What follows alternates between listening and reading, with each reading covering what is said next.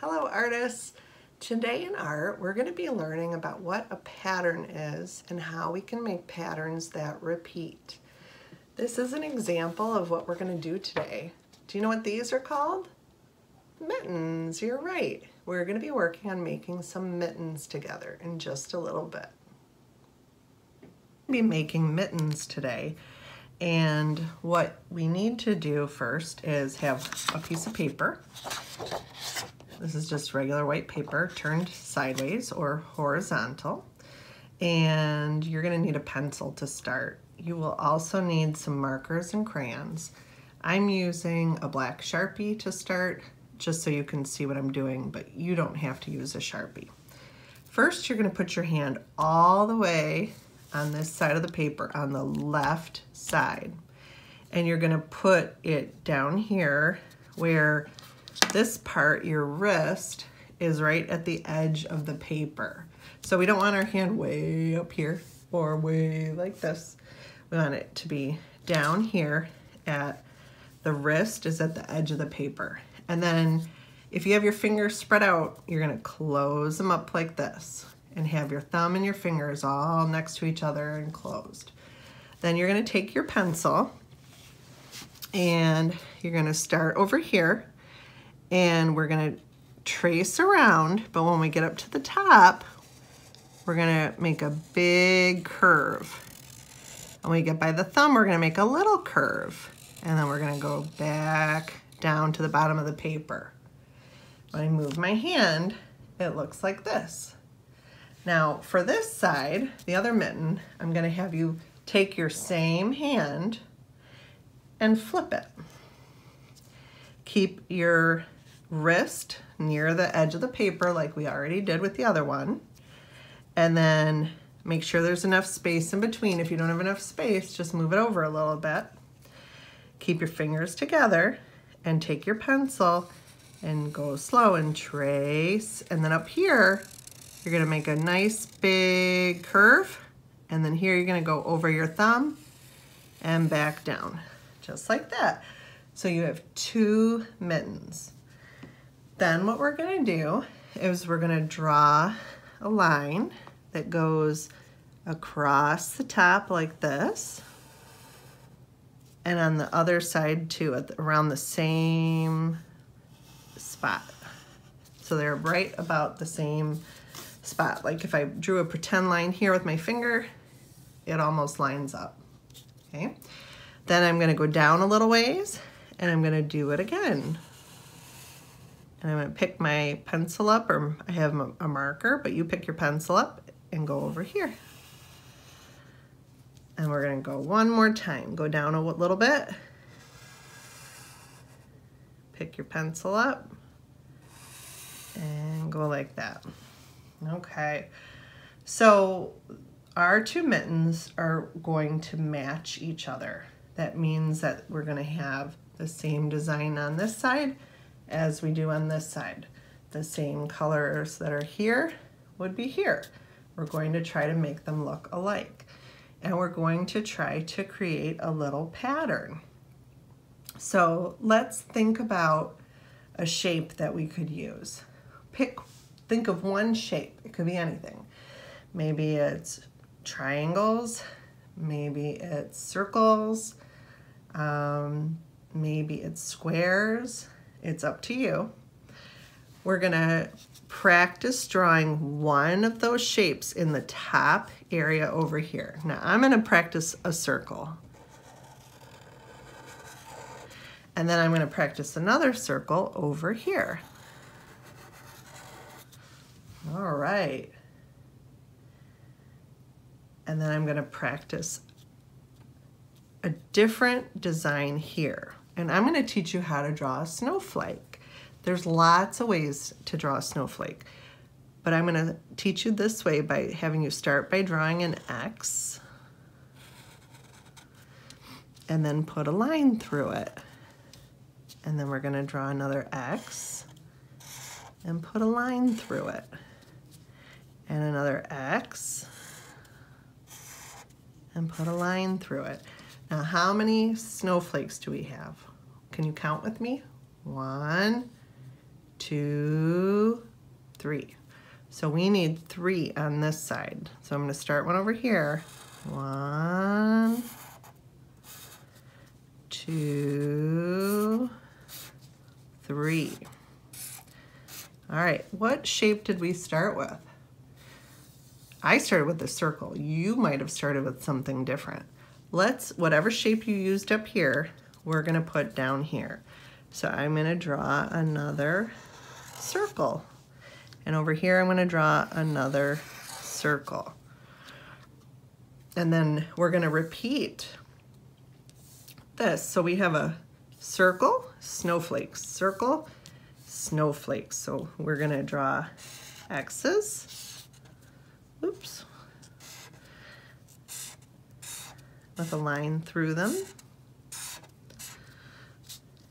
And I'm gonna do the same thing on the right side. Okay, now, I think having just one circle looks a little bit lonely here. So what I'm gonna do is practice putting a smaller circle on either side. So right now, whatever shape you have at the top, go back and put a little small one on each side of the big one. And then you're gonna practice that at the top on both sides and at the bottom, like this. All right. Now, I did say we're going to be coloring them in. You can use marker or you can use crayon. Whatever you have will work fine. And we want both sides to match. So let's see, let's say if I start with purple, I'm gonna color in my, whoops, my big circle with this pretty purple. Now, if I want the other side to match, what do I need to do? Yeah, you're right. I need to color in this big purple, or this big circle purple, right? Okay. And I think what I'm gonna do is I'm gonna go ahead and color these big ones purple too. Now you don't have to use purple to start. You could choose any color. I just happened to pick it because it was one of the first colors I saw and it's a color that I really like for this project. Now, let's see. I think I'm gonna pick a blue and maybe a couple greens and another blue and maybe another purple for now. So I'm gonna go back up here and I have two small circles, don't I? I'm gonna take a different color and I'm gonna color those small circles in. And I want this side to match. So I have to do the same thing. You're right. And I'm gonna keep going, even with the bottom ones. And while I'm doing this, I'm already thinking about what color I want to make the space around those circles. And I like this green a lot. I think that could be pretty. I also really like this blue. It's kind of a teal blue. It's called blue green. And I think that's what I'm gonna use. So I'm gonna color in neatly all the way around. And I'm gonna color this space too. And I'm going right up to the edges of my shapes, like that. Whoop. So a pattern is something that repeats itself. Like you might have learned about patterns with your teacher. Um, they might have taught you about how you could have a pattern that goes A, B, A, B, or maybe even circle, square, circle, square. Our pattern is going to be circles, snowflakes, circles, snowflakes. But we're also repeating the kinds of shapes that we're using. Uh, lots of artists use repetition or repeating or patterns in their artwork.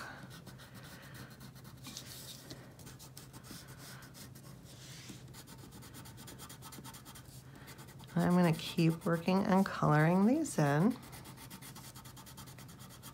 Ooh. And I think while I have the same color in my hand,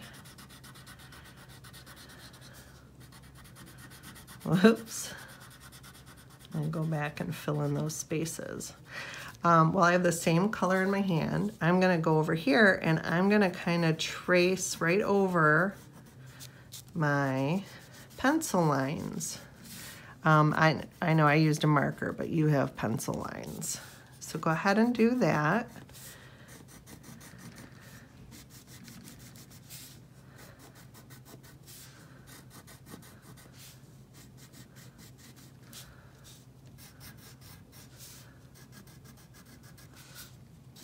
I'm even going down here to the bottom on this one.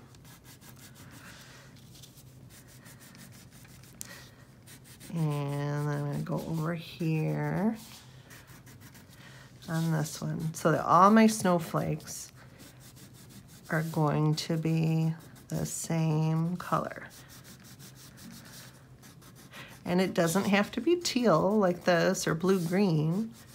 You choose whatever color you want to use.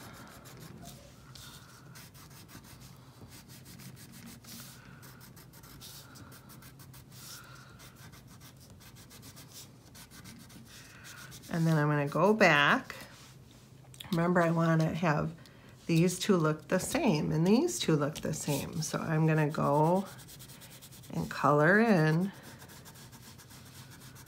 this area.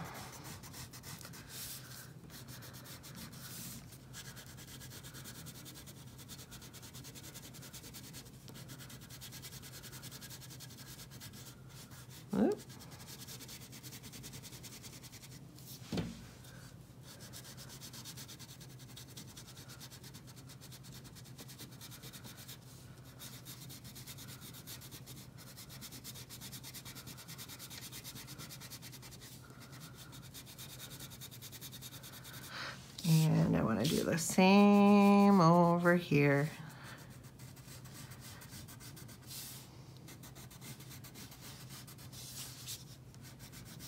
I always try to fill in my little spaces, the little white spaces when I'm coloring. It just makes everything look a lot neater.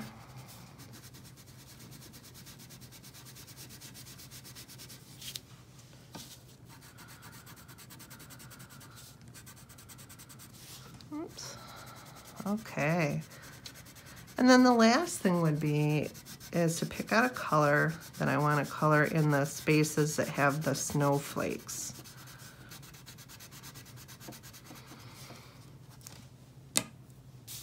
And I could use any of these colors. I have green and purple. I have other colors in my box, but I think I might go with purple since it kind of already matches the colors that I've been using.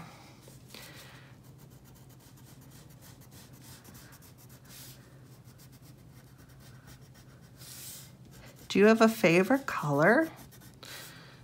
What's your favorite color?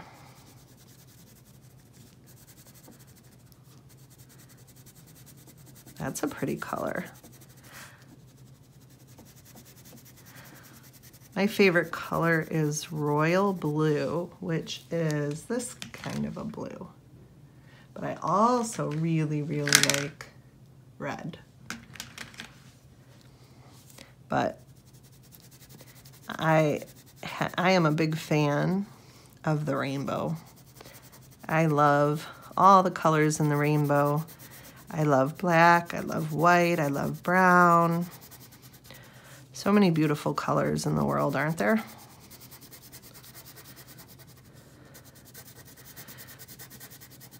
So keep working on your drawing. I'm going to keep coloring this.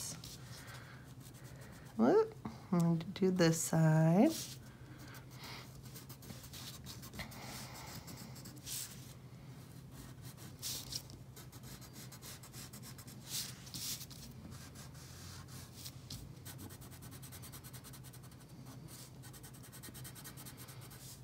Have you already been wearing your mittens or your gloves?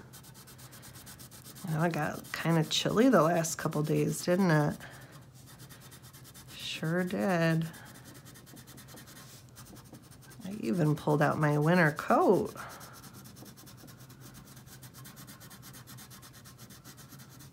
Okay, now I have two parts left at the bottom. Keep going. You're gonna get all of your spaces filled in.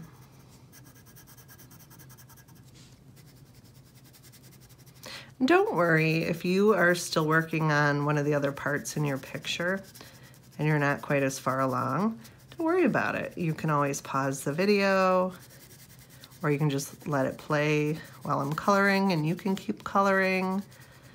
It's up to you. But don't worry about it. You don't have to be coloring it in at the same speed as I am.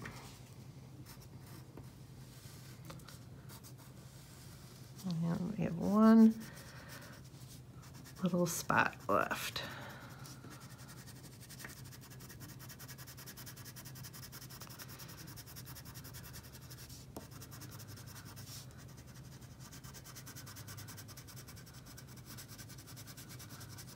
All right, and there we go.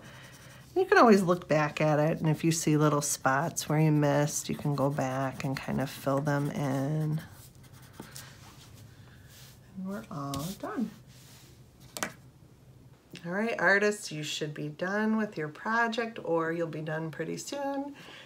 You should have everything colored in from the top space of your mitten to the second space to the third and the fourth. I hope you had fun learning all about patterns today. See you next time.